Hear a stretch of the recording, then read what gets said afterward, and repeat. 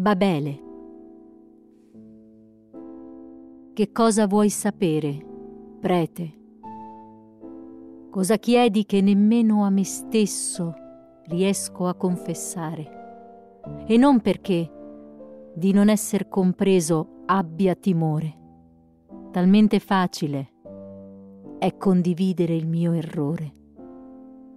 Né temo di esser giudicato. Troppo grande in te la carità. Ben altri abissi ha conosciuto.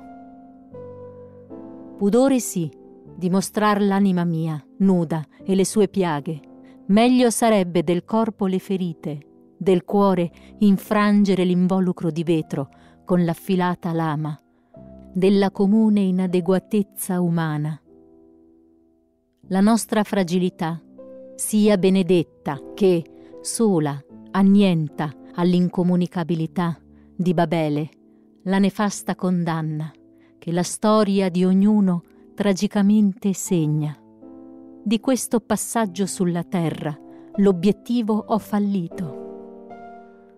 Mettere a tacere i demoni e me stesso, tra intrichi di malerba e schegge di latomie, rinserra il calcagno la tagliola sull'orlo del pozzo, con livida orridezza mi volgo indietro.